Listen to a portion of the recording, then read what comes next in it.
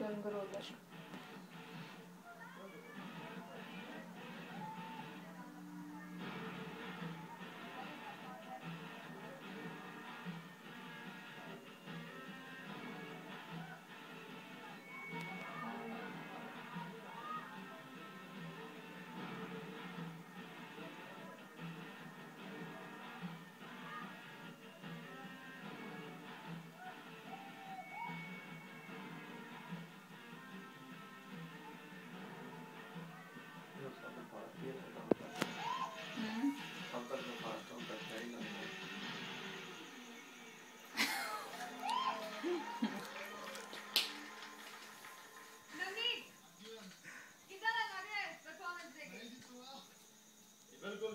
ਕਾਫੀ strong ਲੱਗ ਰਹੇ ਨੇ ਤੇ ਕਾਫੀ ਕੌਨਫੀਡੈਂਟ ਵੀ ਹੈ। ਪਰ ਇਹਦਾ ਜੀਤ ਵੀ ਮੈਨੂੰ ਟੱਕਰ ਦਾ ਲੱਗ ਰਿਹਾ ਤੇ ਦਿਸ਼ਾਂਤ ਵੀ ਬੈਠਾ ਹਾਲੇ